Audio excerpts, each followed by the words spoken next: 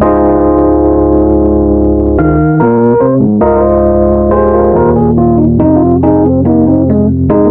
can do some shit, but hey, never on no Sunday, man.